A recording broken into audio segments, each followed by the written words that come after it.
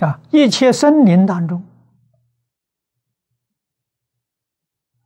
人是最灵的，人为万物之灵。那么人的报复这个心呢，比其他一切都要强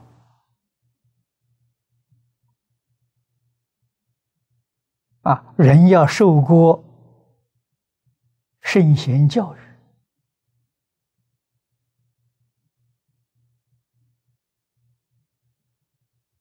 他报复的心啊。就化解了。没有受过圣贤教育，报复的心很强烈啊。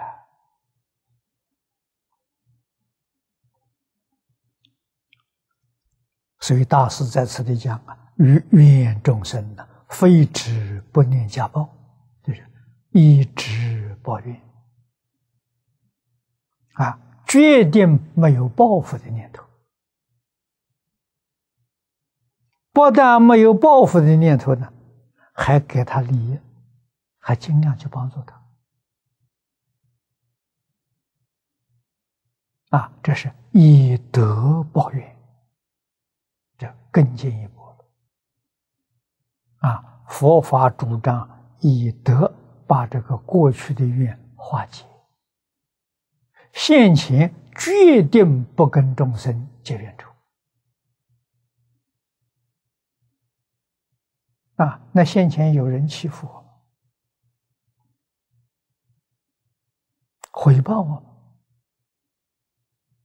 侮辱我们，怎么办呢？收了。啊，欢欢喜喜的接受。为什么？中国老祖宗教我们。反求诸己，这个话对，这话是真理呀。他为什么不回报他？他回报我。为什么不怨恨那个人？他来怨恨我？必有原因。就反求诸己啊，原因不在外面，在自己啊。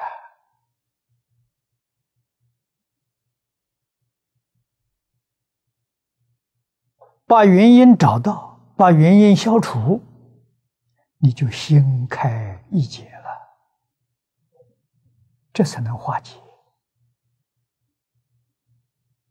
这这过去生中这个陌生人，他不认识，他为什么这种态度对我？是的，这一生当中不认识，可能前世结的缘。如果你能回到过去式，你就恍然大悟了。啊，现在有一种很普通的方法可以帮助你回到过去，催眠，深度的催眠，能能够回到过去。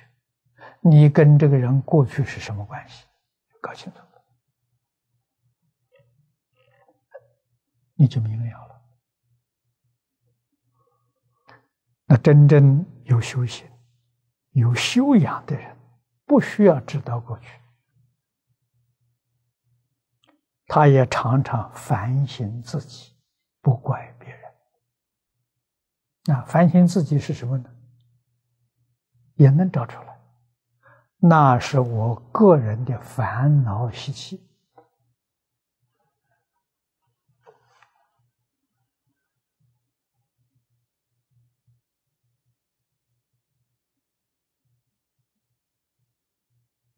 啊，为什么别人啊用很不友善的眼光来看我一眼？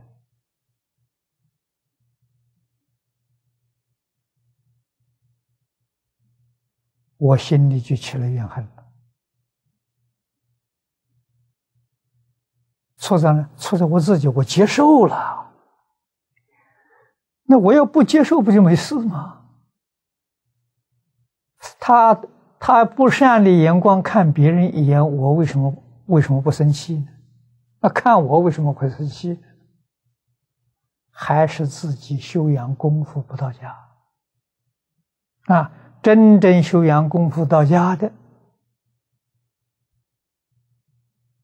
啊，他对我不友善，我对他很友善，笑笑，恭恭敬敬啊，对他之意，不就没事了吗？啊，纵然过去这些这个这个这个不愉快的事情，他就化解了。